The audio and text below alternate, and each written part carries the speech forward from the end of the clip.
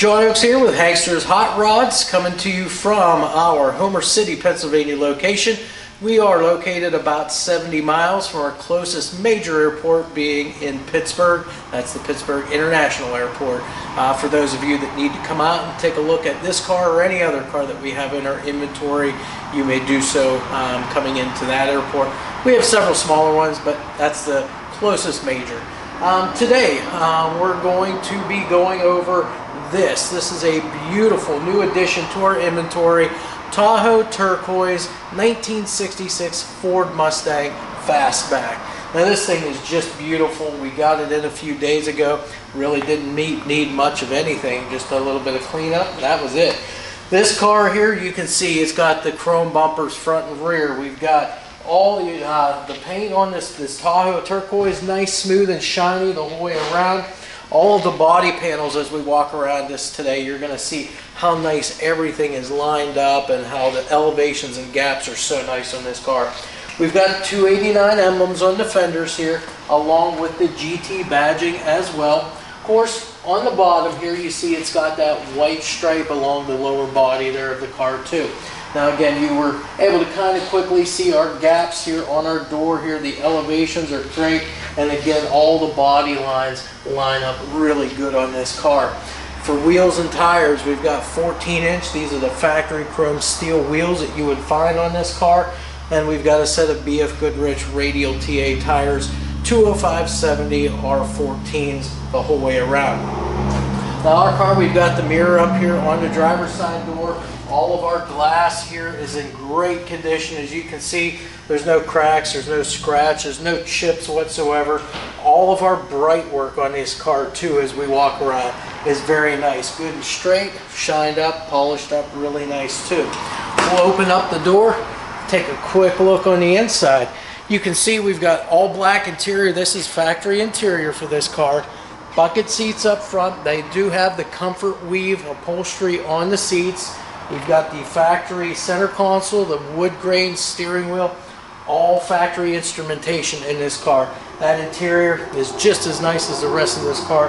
No fading in the carpet, no rips or tears in the seats or headliner. Looks great. Even has a fold down rear seat in it too. Now you can see with our fastback, you've got the vents back here along the sail panel. Those are functional. You've got the lever inside. You can open those up if you need some airflow in there. Again, the quarter panels, again, in excellent condition. As we come back to the rear of the car, you've got this big rear glass across here.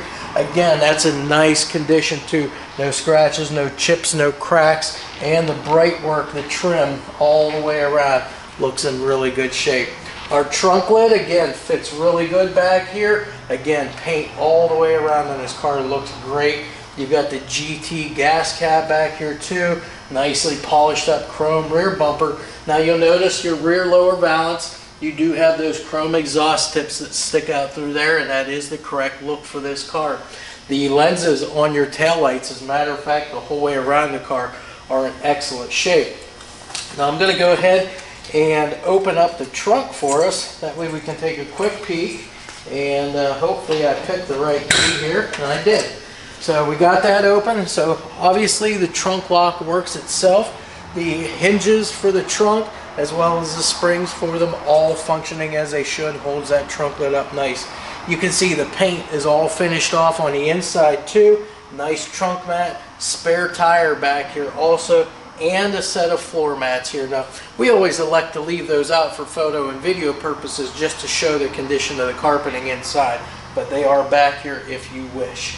Again, trunk seals and weather stripping are all in great shape, and you've got your uh, original decal back here.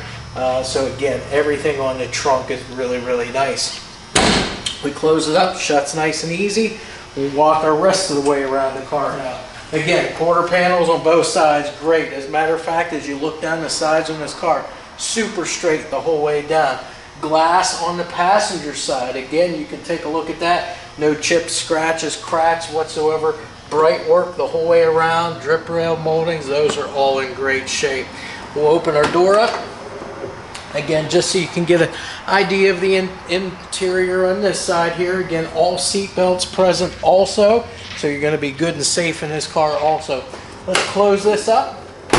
Now we can look at our gaps now on the back side and the front side of our door. Again, very uniform uh, front to back. And again, our elevations are dead on as you look back the side of this car. Everything lines up. We've already been through the emblems everywhere. We'll bring ourselves back around to the front where we see our nicely polished chrome front bumper. Of course, you've got the GT front grille here with the fog lights up here and those are on a switch on the interior of the car. And again, you can see how nice this hood fits both your gaps and your elevations. That's your factory stock steel hood on that car. We're going to go ahead and get this opened up now. And we'll take a look under the hood now. Underside of the hood, all finished up. Same Tahoe, Tahoe turquoise as the rest of the exterior of the car. Of course, you can see the engine compartment all blacked out here. Again, really nice looking vehicle here. As far as the engine goes, um, this is a non-original motor. It is a 68 302 Windsor small block. Um, you can see they put some nice aluminum add-ons here. So again, this Mustang air cleaner, that's made out of aluminum. Again, your aluminum finned aluminum valve covers are also stamped with the Mustang powered by Ford on those. Breather, PCV valve on those. Nice aluminum intake on top also. We've got a single feed Holley carburetor on there with electric choke, so that's going to get you running pretty good there. As far as your uh, ignition system, you, they did remain kind of with a stock style distributor here and a stock style coil mounted right down here. They did upgrade though. It looks like they went to a set of Autolite Professional Series 7 millimeter plug wires. Uh, but again, this motor runs really, really good here for this car. Stock style radiator here, complete with, let me just check it out, six blade aluminum flex fan in there. So that's gonna help keep you cool and that does have the fan shroud on it. Power brake car, power steering car. Uh, and as far as the exhaust, we've got the stock uh, cast exhaust manifolds, which dump into a set of real dual exhaust, dual mufflers, dual tailpipes with exhaust tips on it. That's your motor. Now as far as the rest of the driveline, this motor is coupled to a C4 automatic transmission and then that is coupled to an 8 inch Ford rear end, 280 gear, limited slip differential. That is your drivetrain. So all in all, this car is just an awesome car. It is very, very nice as far as the paint, the finish, body work, and as far as the interior, it's your complete overall package in my opinion. So we're going to go ahead and close up our hood. Okay, so we've got our 66 uh, Ford Mustang Fastback here on the lift. So we can go through everything as we always do, starting up here at the front. So as far as our front suspension goes, we've got the stock front suspension, strut rod fronts here, all the bushings, those are all in great shape. Your control arms, again, just your stock stuff up front here. So those are all great shape. Ball joints on everything, your, your control arms, your tie rods, everything. Those are all in great shape and all the little rubber dust boot covers are all intact. Our car does also have the front sway bar on it. Sway bar bushings for the frame and for the end links are all in great shape as well. As far as uh, the rest of the steering, we do have traditional power steering up here for the Mustang. Uh, and all of that looks to be in great shape. Your boot, everything looks nice and dry, nice and clean underneath here. Uh, as far as wheels and tires, We've got all 14 inch factory chrome steel wheels on this car with 205 70 R14 BF Goodrich radial TA tires on both front and rear. And as far as braking components, we've got disc brakes up front, drum brakes in the rear, and they are power brakes also. Now, let's take a minute just to talk about our floors on this car. As you can tell from probably the video and all the photos that you're able to see of this car, this thing looks immaculate underneath here, and it is. It really is.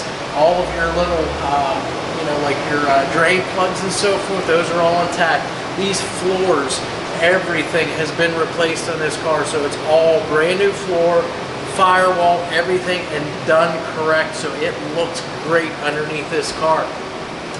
As far as the rest of our driveline goes, we've got our 302 motor up here. This is a non-original motor, 68 uh, 302 Windsor small block. coupled up to a uh, C4 automatic transmission. We've got a balanced drive shaft here. And then of course we've got our 8-inch Ford rear end here. A 280 gear is what this called out for. Uh, and this is a limited slip differential. Uh, as far as rear suspension, multi-leaf rear suspension, looks to have newer shocks on the back end of it here as well. Uh, looks to be a either a new or fairly new fuel tank on it also. It looks great, painted up black to match everything else up underneath here. The frame sections on this car, great shape also. You can see right here on the front frame sections, nice and square, nice and straight, no dents or dings anywhere. Even the rear sections of the frame here that you can see, those are nice and straight and no dings or anything on those either. So everything that way looks great too. And um, as far as brake lines, fuel lines, those are all routed nice and neatly up along the floors here. Uh, emergency brake all intact from the start all the way back to the finish here at your drum brakes. Uh, and then I'm um, just trying to think of other things that we can point out of that. I mean, everything is just so nice and clean underneath here.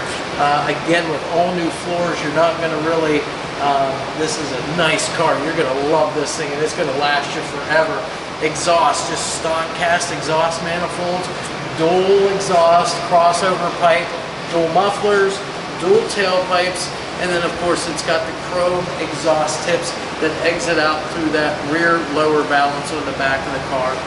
That's really it. Um, we can now get this down off the lift.